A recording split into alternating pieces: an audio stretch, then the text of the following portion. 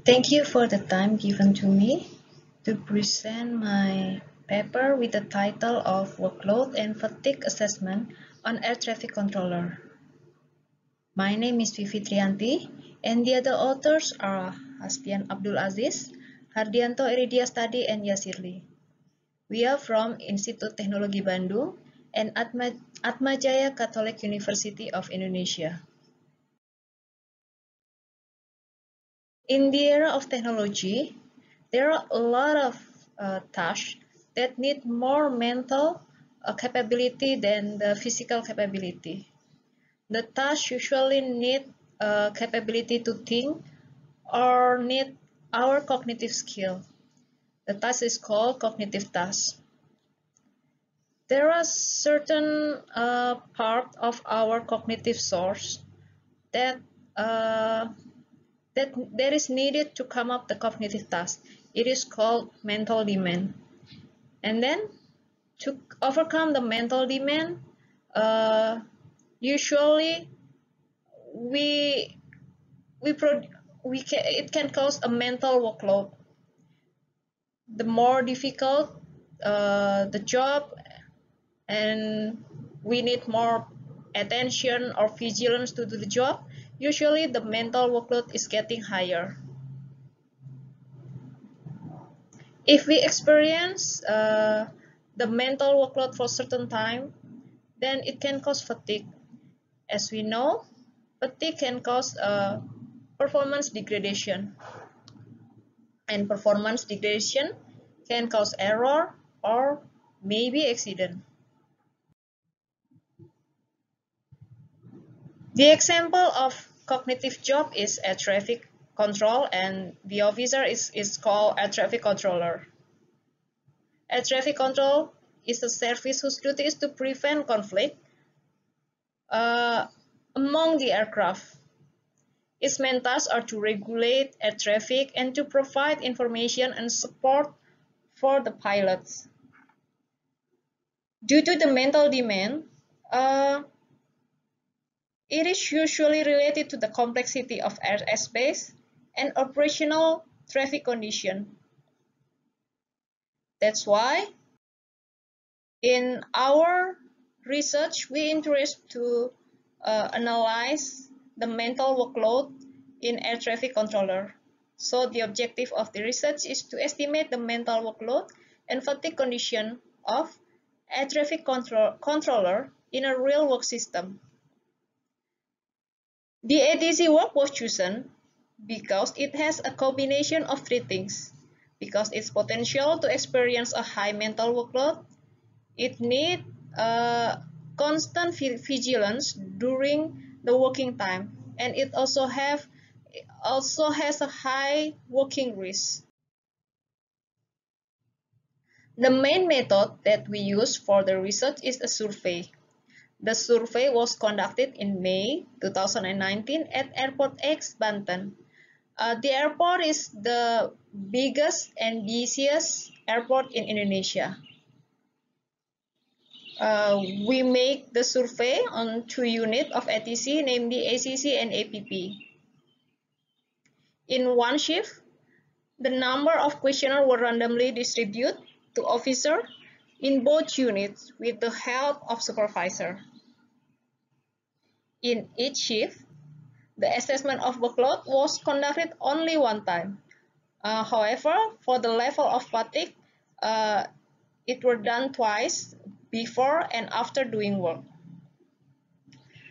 During the survey, uh, 257 questionnaires uh, were successfully collected and processed. For the workload assessment, we use NASA TLX approach from Hart and Stephen. Uh, it consists of six subscales. It is mental demand, physical demand, time pressure or temporal demand, frustration, effort, and performance. Meanwhile, for the fatigue assessment, we use Samn-Perelli fatigue checklist, or usually it is called Samn-Perelli crew status check. The, uh, the scale was validated in aviation study. For the result, for the workload, uh, the hypothesis one is ATC is a work with high mental workload. Actually, from literature, there is no clear cut-off which uh, point or which score that mean high or low or very high mental workload. Usually it is specific only for certain job. So for the job of ATC, we use previous study that using 24 ATC. Here we use the percentile 25, 15th and 75th. And then we use it as a, a cutoff for medium, high and very high. Then we compare it with our study. In our study, uh, the score is uh, like in the table and then we found that mental demand, time pressure and effort has very high score and the category is very high. Then for overall mental workload, it is in the category of high.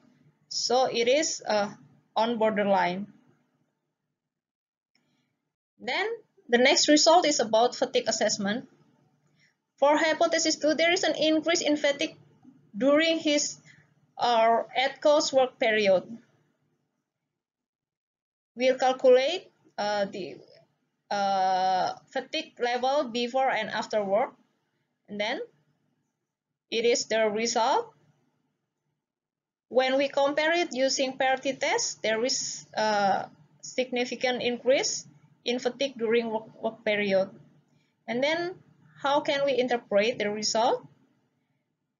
Based on the table, from previous study, uh, actually the fatigue level before and after uh, working still on uh, level level that can be acceptable because in score 4 performance degradation is possible but not a significant factor so the level of fatigue after work is uh, still acceptable.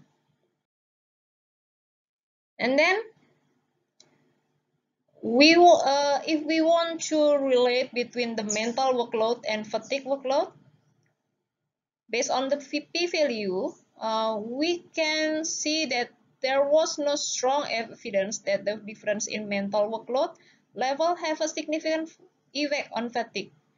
However based on the score we can find that the fatigue tend to increase after work the increasing value tends to be higher in higher workload, although the increasing is not significant. From the study, we can conclude several things. And the first one, air traffic control is a job that requires the ability to remain vigilant and make decisions continuously throughout its working period. The task demand can cause relatively high workload. At the airport X, the workload felt by officer was relatively high, especially in aspect of effort, mental demand, and time pressure.